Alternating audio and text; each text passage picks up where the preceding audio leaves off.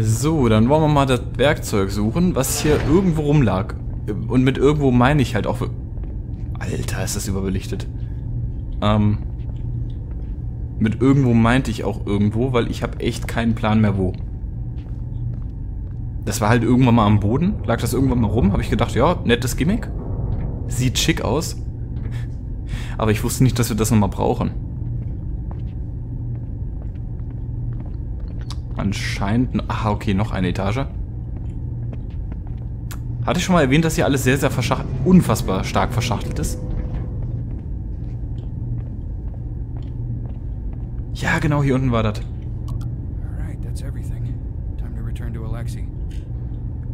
Zu Alexi Bexi. Grüße gehen raus. Du wirst dieses Video nie sehen, aber äh, fühle dich hiermit gegrüßt. Alexei Bexi. Das ist die russische Variante. Oh Gott, das schlecht. Mm, mm, mm, ich tue mal so, als wäre da nichts gewesen und laufe einfach mal ganz gediegen weiter, ne? Hier und übrigens, ich dachte, er wäre der, Kerl, der Kerle, der vorhin Putzdienst hatte, den ich hätte suchen müssen. Plot Twist, es war nicht der Kerl, den ich suchen musste. So, wo wollte ich denn jetzt hin? Äh, ich hab mich wieder verlaufen? Ja, ich habe mich wieder verlaufen.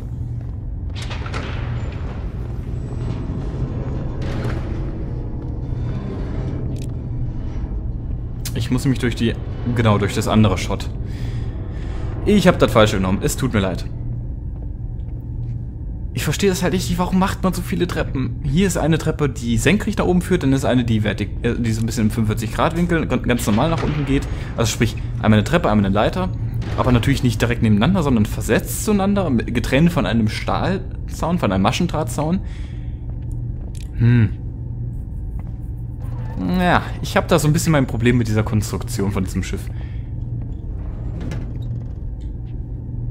Sag mal, sind das Betonwände? Sind das Betonwände? Wenn ja, könnte es gewissermaßen Sinn ergeben, um halt die Strahlung abzu abzuhalten. Aber interessant. Apropos Strahlung. Hi. Ну что, все достал? Ja, ich habe alles besorgt. Hier. Работа тонкая, так что не отвлекай меня. Зайди попозже. Ja, keiner, kein, kein Ding. Ich komme nach dem Schwarzbild wieder. Und da sind wir wieder. Все готово. Пришлось потрудиться, конечно, пару гвоздей запороть, но я справился. На, забирай. Und danke, sieht großartig aus. Er wird von Dimitri sicherlich, er wird von Dimitri sicherlich gefallen. Geht klar, Alex. Machen wir. Äh, schlampig, du hättest dich mehr anstrengen können. Ähm, ich weiß nicht, wie das Ding aussieht. Ich habe da keine... Ich, ich kann es nicht sagen, ob er schlampig gearbeitet hat. Würde aber schon passen. Finally, this took some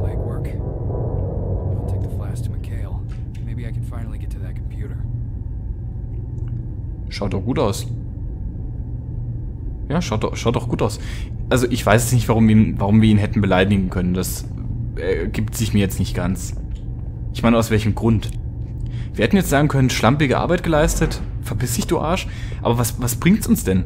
Im Endeffekt könnte es passieren, dass er dann sagt, ja gut, äh, verpiss dich auf Russisch und, ähm, ich weiß es nicht. Hätte halt keinen Vorteil. Er wäre uns halt sauer und wenn wir den später nochmal brauchen, dann RIP. Und außerdem, ich konnte es halt wirklich nicht beurteilen. Also ich hatte den ja noch nicht in der Hand. Ich konnte nicht sagen, ob er gut gearbeitet hat oder schlecht gearbeitet hat. Und selbst wenn er schlecht gearbeitet hätte und ich es erkannt hätte, ich hätte es, glaube ich, nicht unterscheiden können, weil ich halt kein Russisch kann. Also das sieht halt für mich alles gleich aus. So, wieder verlaufen, verdammt. Ähm, wo war die Treppe? Ach genau, erstmal die Leiter und dann die Treppe. Klar. Hier, dieser Gang endet halt wirklich genau hier, ne? Es geht dann nicht weiter auf der Ebene. Sprich, du musst erstmal wieder eine Etage weiter nach unten. Dann durch die Luke durch. Und dann in der nächsten Etage wieder nach oben. Also die Etage ist eigentlich unterbrochen. Stimmt das? Ja, stimmt. Hier geht's wieder nach oben. Warum unterbricht man die Etage mittendrin? Was ist denn das für ein Bullshit? Gibt's hier irgendwelche wichtigen, äh, mechanischen Bauteile oder irgendwelche generellen Bauteile, die hier verbaut werden mussten, hier hinter dieser Wand? Also da muss ja irgendwas gebaut... Ah, warte mal. Ja, ich, ich gehe gleich weiter. Ich will was überprüfen. Könnte. Es rein zufällig sein, dass hier eine Abstellkammer ist. Aha. Nee, da wollte ich nicht hin. Nee, ich meine, hier wäre doch... Entschuldigung. Ich meine... Ich meine, ich meine, ich meine. Gut, ist es auch egal. Ähm, ich dachte, da wäre irgendwas mit Batterien noch gewesen, aber das war, glaube ich, auf einer anderen Ecke. Hat man mit dir schon gesprochen? Ja, ich glaube, wir hatten mit dir gesprochen. Der hat bestimmt einen neuen. Tschüss. Kann ich ihr Foto machen? Nein. Ich bin Charmeur hier auf dem, auf dem Schiff, mögen mich alle wegen solchen Sprüchen.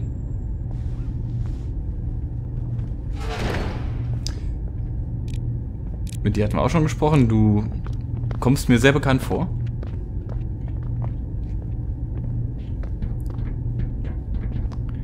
Ihr könnt ja mal in die Kommentare schreiben, ob ihr mittlerweile dieses U-Boot einigermaßen versteht. Also ich komme so Stück für Stück so ein bisschen, ja, halbwegs dran. Ich werde es wahrscheinlich nie ganz begreifen, aber ich komme nah dran. So, ich muss jetzt nach vorne wieder zur... Hier, hier war doch der, der, der... Sauna-Freizeitbereich, oder? Wenn ich jetzt hier weiter nach... Ich, ich glaube, jetzt gehe ich gerade nach vorne. Und hier müsste ich mich eigentlich ein bisschen besser auskennen. Ja, wo muss ich... Ich, ich muss gar nicht zum Saunabereich, ne? Ich muss ihn wieder nach unten. Zu dem Computer-Heinzel. Stimmt, ja, da war ja was. Ja, mittlerweile, wie gesagt, es- den vorderen Bereich, den kenne ich ein bisschen besser mittlerweile. Den hinteren Bereich, da war ich noch nicht so oft. So, meine lieben Freunde, es geht jetzt ans Eingemachte. Ich muss hacken. Ну что, принёс? Wünscht mir Glück. Ja, ich hab's geschafft. Супер. Вот Тимка обрадуется. С меня причитается. Садись за компьютер. So, wie, Я уже запустил Telnet и почту. Смотаюсь пока на перерыв. Maybe I should write something. ja, ist eine gute Idee. Warum hat er nicht erst die Daten geklaut und dann was geschrieben? Flashout 3 2020. Jetzt geht's los mit dem Hacken.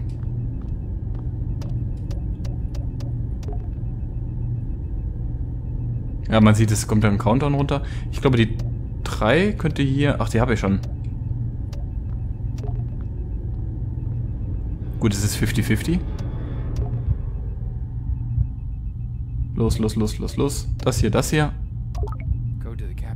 Bitteschön. Oh, wir haben den Code. Oh, das ist nicht schlecht. Das ist nicht schlecht.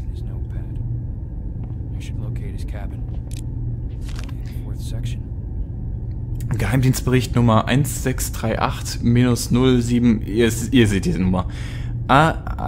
ASCI White ASCII, das sagt mir irgendwas. As, ASCII White ist der schnellste Computer der Welt. Achso, er wurde im Juni fertiggestellt, wird aber erst 2001 be- betriebsbereit sein. Er ist auf 8192 Power 3 Prozessoren aufgebaut.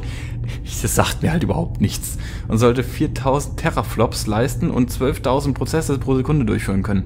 Der Computer wird für komplizierte Berechnungen genutzt werden, etwa die Simulation einer nuklearen Explosion. Er wiegt 106 Tonnen und verbraucht 6 Megawatt Energie, die Hälfte davon zur Kühlung. ASCII White läuft auf dem AIX-Betriebssystem. Okay, ich bin echt kein. Ich habe zwar ein Semester Informatik gehabt in meinem Studium, aber da ging es um Programmieren in Java. Das hat halt überhaupt null, absolut null hiermit zu tun. Also wenn einer von euch irgendwie in der Programmiersprache drin ist, da kommt ihr alle her. Und ja, die, die ganzen Daten kann ich jetzt nicht verifizieren, dafür bin ich halt nicht stark genug in der Materie dran. Aber es ist, ich kann euch garantieren, die heutigen Supercomputer sind ein wenig kompakter. Und obendrauf auch noch ein bisschen leistungsfähiger. Zumal, jetzt kommt ja demnächst, demnächst ist auch relativ, in den nächsten, nein, in den nächsten 10, 20 Jahren, es wird sich noch zeigen, wie schnell das von, von, vonstatten geht, kommen ja dann auch die Quantencomputer.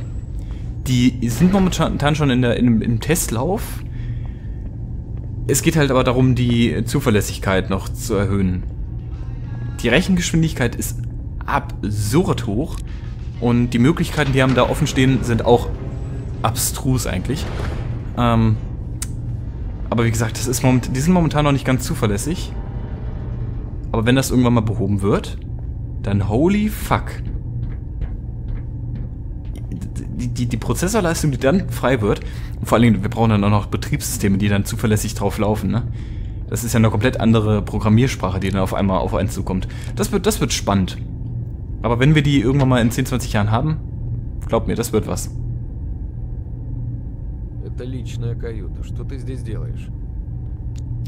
Ähm, ich bin wegen meines Flachmanns hier. Ich habe gehört, dass, dass du heute Geburtstag... Warte mal. Ach, das ist Dimi was, Dimitri? Ja, ne? Ich habe gehört, dass heute dein Geburtstag ist und wollte dir alles Gute wünschen. Спасибо. Я вообще дни рождения не праздную. Не люблю этот день с детства. Но приятно, что ребята помнят. И подарок очень хороший. Oh, bitteschön. Freut mich, dass er dir gefällt. Okay, muss dann los. Du kannst dich auch an allem erfreuen. nee, nee, lieber nicht. Подожди. Ja? Ты ведь инженер, да? Du bist einer der Experten, oder? Ich ha hätte eine Aufgabe für dich. Нужна твоя помощь. Ich muss hier für jeden irgendeine Scheiß erledigen. Das ist echt nervig. Gut. Äh, Was ist das? Пойдем, я покажу. Komm schon. Командир уже говорил тебе про учебные занятия. К ним относятся имитации боевых столкновений. Это всегда такая игра в кошки-мышки. Ich bin mal gespannt, was jetzt kommt.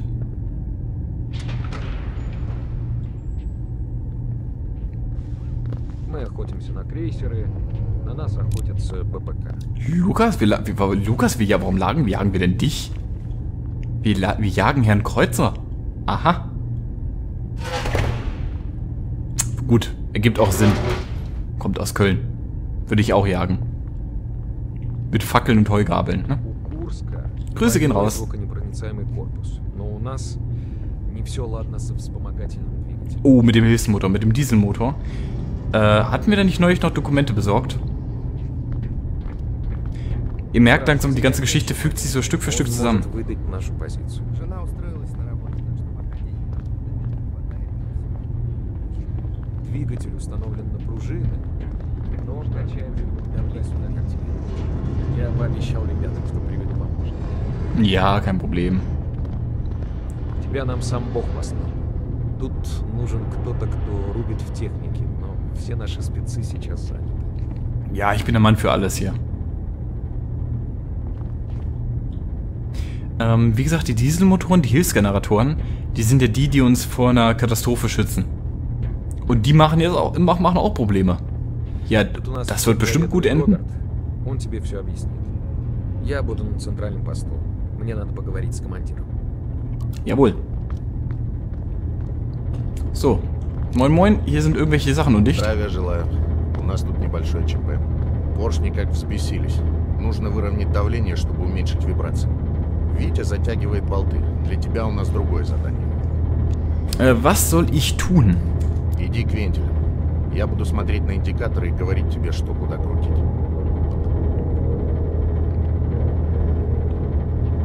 Äh, ist das die Ventilsteuerung? Ich bin natürlich ein absoluter Experte, ne? Готов? Поворачивай.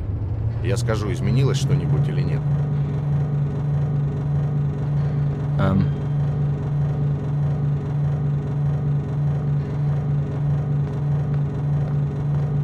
Was muss ich denn machen?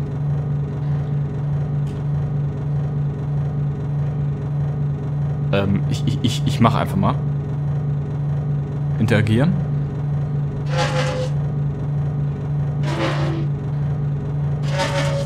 dachte, er... Чуть получше. Теперь другой. Okay, äh. Zack. Ich dachte halt, er gibt mir irgendwie weitere Anweisungen, aber das ist jetzt nicht so passiert. Намного лучше, но этого недостаточно. Берись за третий. Ich bin ein richtiger Profi hier. Gut, dass sie mich haben. Ich habe jetzt an zwei Ventilen in zwei Richtungen gedreht. Easy. Das ist eine einfache Arbeit. Вибрации усилились. А О. если в другую сторону? Вроде порядок. Подожди, сейчас я проверю, все ли нормально. Ну вот, вибрации ниже нормы. Молодца. Ja, wenn es nicht zu einer Katastrophe führt, dann ist ja alles gut, ne? Спасибо тебе. Сами бы мы не справились. Ладно, не буду больше тебя задерживать. Der Vollspacken hätte doch die ganze Arbeit übernehmen können. Der, der läuft ja die ganze Zeit nur durch die Gegend, der Vollidiot. Beschweren bringt hier nichts. Ich merke das schon. Das ist wie mit der Guillotine an der, an der Beschwerdebox, wo man Zettel reinwerfen kann. Mit der Handguillotine, genau. Mit der Handguillotine an der Beschwerdebox. Ich weiß nicht, wo das jetzt ein Zitat raus war. Doch, ich weiß, wo es ein Zitat raus war. Könnt ihr mal in die Kommentare schreiben, wenn einer von euch eine Ahnung hat. Aber das ist ungefähr genauso auf dem Niveau hier. Hey, ich bin Experte. Ja, äh, pf, mach mal was anderes hier, eine andere Aufgabe. Wir brauchen dich unbedingt dafür. Ist ja nicht so, dass einer daneben noch läuft, der hätte da anpacken können, der auch keine Qualifikation dafür braucht. Macht ja nix. So, äh... Moment, er ist ja jetzt in der Offiziersgeschichte, von daher ist jetzt hier frei, ne? Ich bin hier falsch.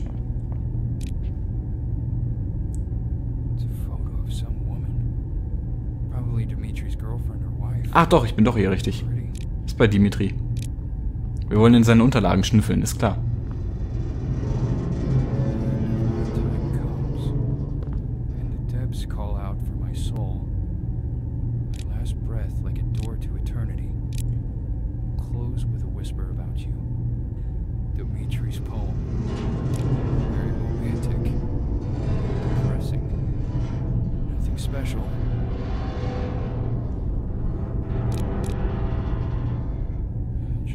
Junk. Empty. Ja gut, empty ist ja schon klar, ne? Hier nochmal ein Buch. Got it. Ach, das war da drunter. Opala. Dimitri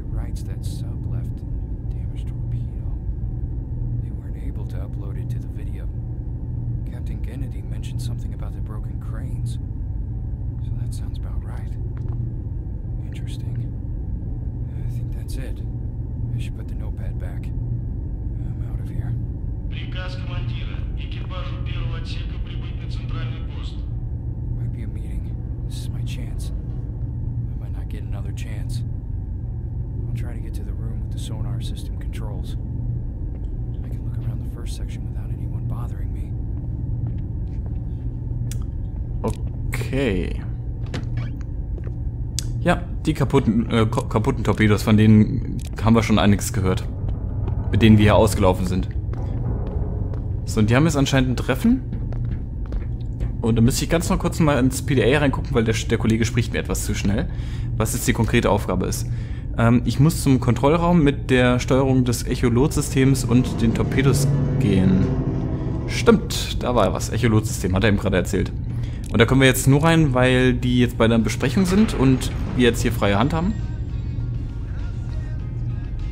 Mr. Muck ist wieder da.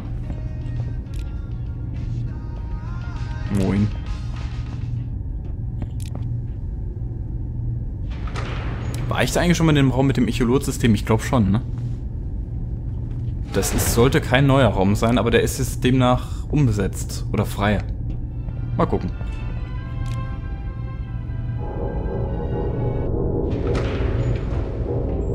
So, jetzt sind wir vorne bei den Torpedos. Bei den kaputten. Oder bei dem einen kaputten. Was will ich denn hier? Mal nach da unten. Gut, dass ich die Markierung hätte. Also äh, habe. Sonst hätte ich mich hier schon 80 Mal verlaufen.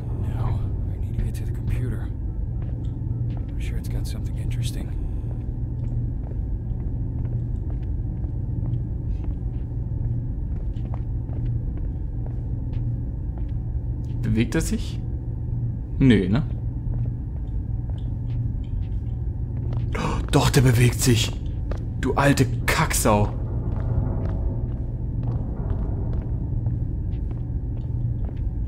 Eins, zwei, drei, vier, 5. Okay, da geht das nicht.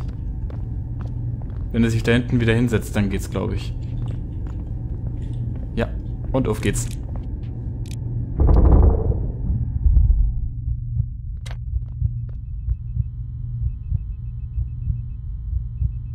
So, auf gutes Gelingen. Eins war richtig, wow.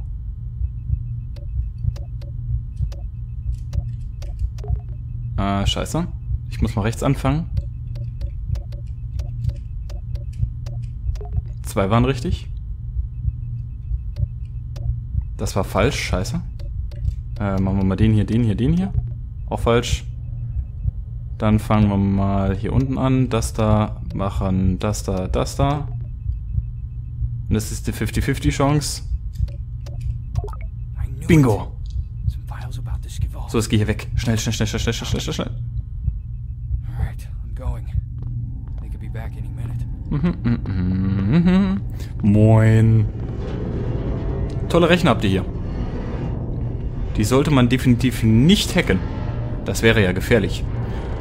Alter Finne. Das war jetzt knapp. Also einmal noch verkackt. Das hätte ich mir jetzt nicht gemerkt, welchen ich schon hatte. Dann wäre es kacke gelaufen. Äh, ich guck gerade mal hier vorne, ob es hier noch irgendwas gibt. Bei ihm hier? Nö. Ich weiß nicht, irgendwie... Ist das da hinten Beton? Ich, ich muss immer, ich will immer noch verstehen, wie dieses U-Boot aufgebaut ist. Keine Ahnung, so ein Bauplan, so ein 3D-Bauplan wäre halt schon irgendwie cool. Da könnte ich mir halt irgendwie Gedanken machen, wo ich gerade auf diesem Schiff hier stecke. Aktuell laufe ich ja wie so ein beklopptes Albino-Hörnchen durch die Gegend, ohne wirklich einen Plan zu haben, wo ich eigentlich hin möchte. shit happens. Naja, auf jeden Fall, wie gesagt, Hacking war sehr knapp gerade. Sehr, sehr knapp. Eine Sekunde länger und RIP. Moment, was, was haben alle Waffenexperten? Oh, das Manöver geht los. Das Manöver geht los. Und wisst ihr was? Ich glaube... Hier, manchmal denke ich halt, das Spiel freest, aber in Wirklichkeit bin ich einfach nur zu blöd, um mich zu bewegen. Wisst ihr was? Ich glaube tatsächlich, das überlasse ich Zukunfts-Alex äh, in der nächsten Aufnahmesession. Ich bin mal gespannt.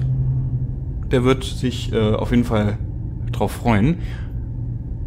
Denn jetzt kommen wir halt in den, in den Bereich des Flottenmanövers, in den Bereich der, glaube beinahe Katastrophe, in, in den Bereich der Katastrophe, die jetzt langsam ihren Lauf nimmt.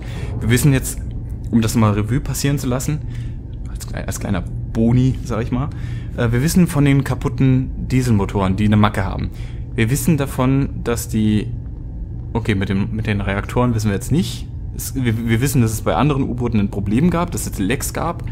Ähm, viel wichtiger ist, wir wissen von den kaputten Torpedos. Da, wir haben defekte Torpedos und vor allen Dingen auch scharfe Torpedos an Bord.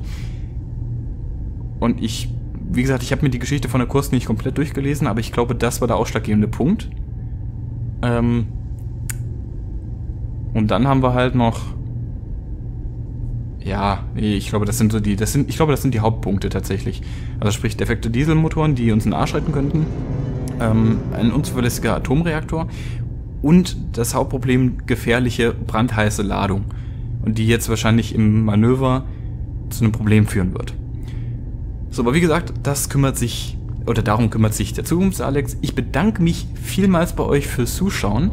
Ähm, danke auch, wie gesagt, nochmal an der Stelle für die Kommentare, die immer unter den Videos stehen. Danke für euer Interesse an diesem ganzen Projekt. Euch gefallen anscheinend die U-Boot-Spiele, habe ich das Gefühl. Ich meine, es macht mir ja auch Spaß, auch mal auch auf so einem etwas moderneren U-Boot rumzulaufen. Ähm, für meinen Teil, wie gesagt, ist erstmal einen wunderschönen Tag noch. Ich bin raus. Bis zum nächsten Mal. Grüße an den Zukunfts-Alex. Der wird wahrscheinlich in der neuen Folge das Ganze richtig schön wuppen. Mit anderen Worten, das U-Boot versenken. Macht's gut und tschüss.